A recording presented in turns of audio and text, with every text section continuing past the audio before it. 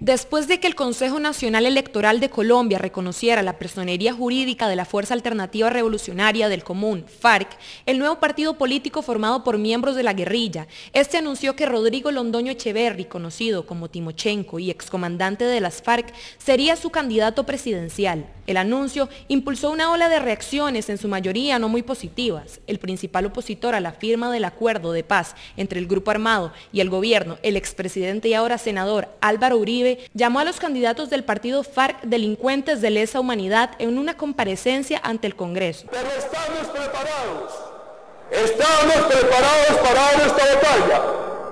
Hoy anuncian pomposamente las candidaturas de aquellos que están incursos en delitos atroces.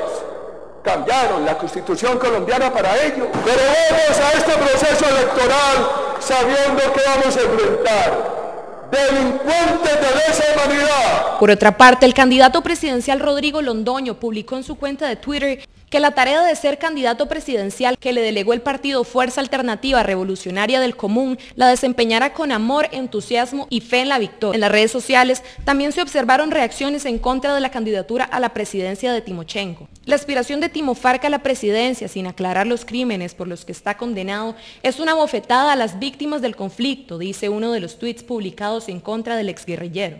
Sin embargo, también se ven mensajes positivos como este que reza, bienvenidos al mundo político, al mundo de las ideas. No votaré por ustedes, pero les reconozco el derecho a debatir sus propuestas. Los comicios presidenciales se llevarán a cabo en mayo del 2018, en los cuales Imelda Daza Cortés será la candidata a vicepresidente, mando así el binomio presidencial. Daza es una de los sobrevivientes de los 5.000 miembros y más de 10 congresistas que formaron parte del partido Unión Patriótica que fueron asesinados entre los años de 1980 y 1990. Este partido se había creado en 1984 después de que el gobierno de ese entonces llegara a un acuerdo con las FARC. El gobierno establecía que el grupo armado tendría cinco puestos en el Senado y cinco más en la Cámara de Representantes durante las elecciones del año que vienen y las del 2022.